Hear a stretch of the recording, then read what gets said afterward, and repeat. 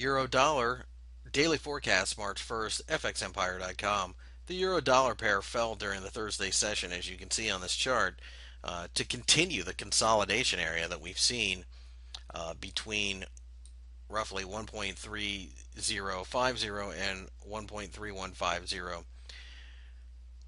We think this market is inherently bearish and are willing to sell, but we need to see the 130 level broken to the downside first. Otherwise, you could get caught on a bounce.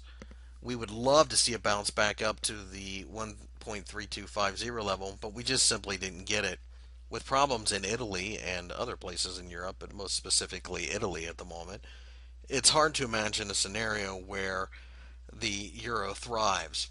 Also, the dollar index looks very bullish at this point. And of course, 40% of it is based upon the euro. So at this point in time, we expect to be shorting this market, but we need to see that clearance first.